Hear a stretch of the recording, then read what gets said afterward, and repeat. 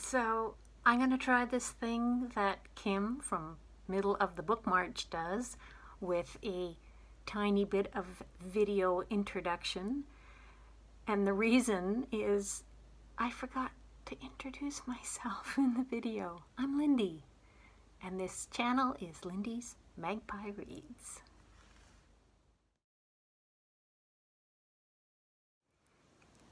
Hello, my friends. What I'm going to do today is try this vlogmagram thing that Heather from Soggy Expat Book Nerd and Shawn the Book Maniac came up with. It's not exactly a tag, it's more like a project, activity. Anyway, I will link the information below.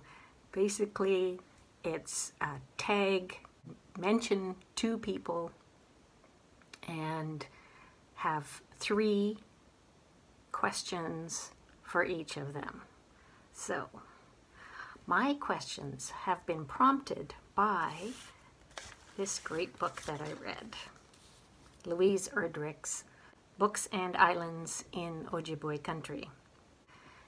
And Kim, you are the first person, Kim of Middle of the Book March you are the first person that I'm going to have questions for. And this is the passage that made me think, okay, I got questions for Kim.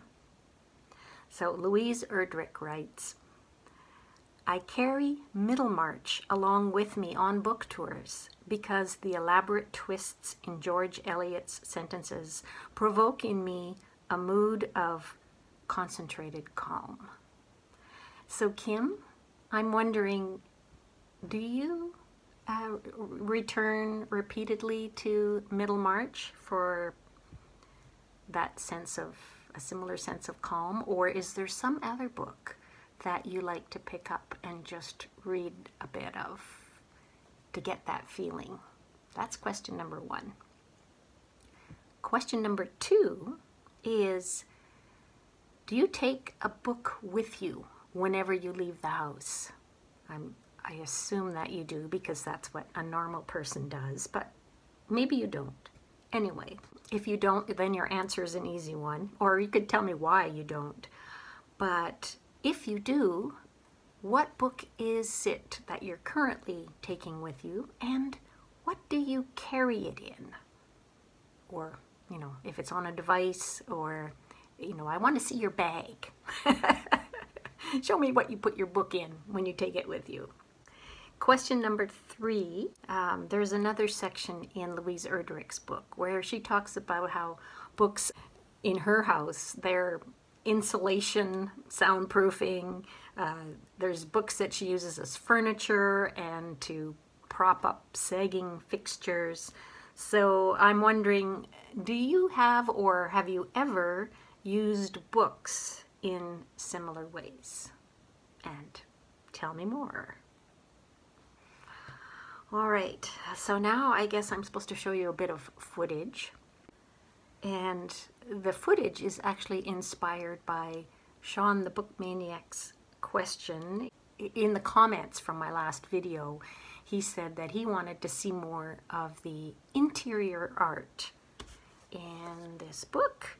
So I made a quick little video and I just wanted to say that the uh, interior book design is by Michael Ian Kaye, spelled K-A-Y-E, and Tuan Ching, T-U-A-N-C-H-I-N-G. So they designed this book that is published by National Geographic.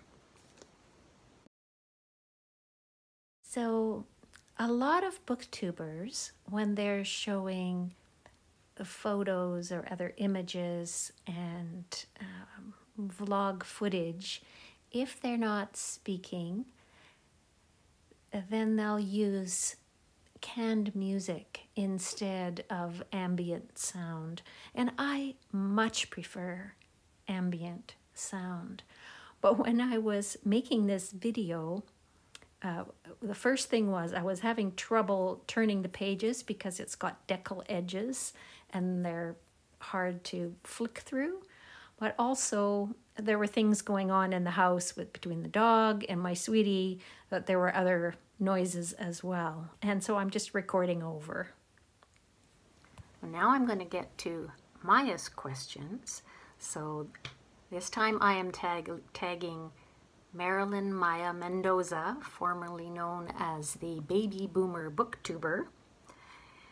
And her questions were prompted from the following passage from this same book.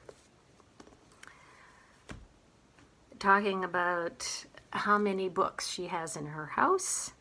And if you've watched Marilyn's videos, you know that she is constantly getting packages, gifts from people, things that she orders herself, and she'll show us in her videos those books. Sometimes she says they, um, she sort of forgets about them. But anyway, Louise Erdrich.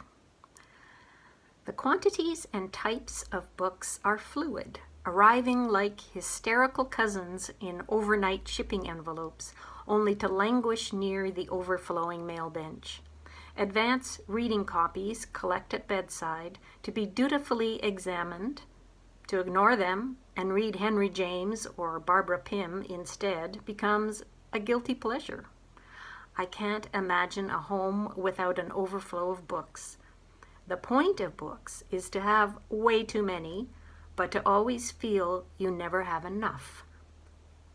Or the right one at the right moment, but then sometimes to find you'd long to fall asleep reading the Aspern papers, and there it is. Okay, Maya, so my questions are, are you familiar with the book Erdrich references at the end, the Aspern papers? Um, actually, that's not my question, really. It's just that it's a book I've never heard of before. If you've got anything to say about it, I'd be happy to hear it. So this is my real question.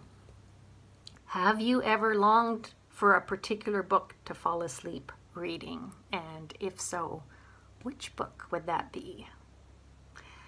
Question number two Do you ever read advanced reading copies, ARCs? Question number three What do you think about calling certain kinds of reading a guilty pleasure? Have you ever experienced that feeling?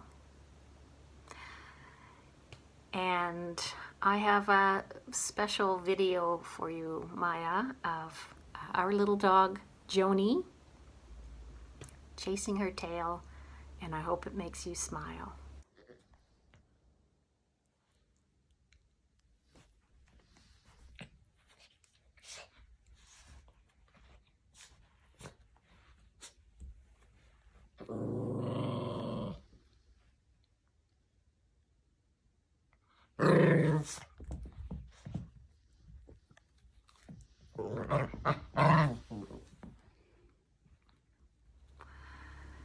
Now, everybody, you are welcome to do this tag.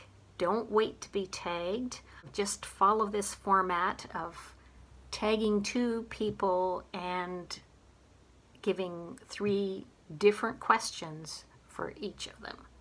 All right? Thanks for watching. Bye.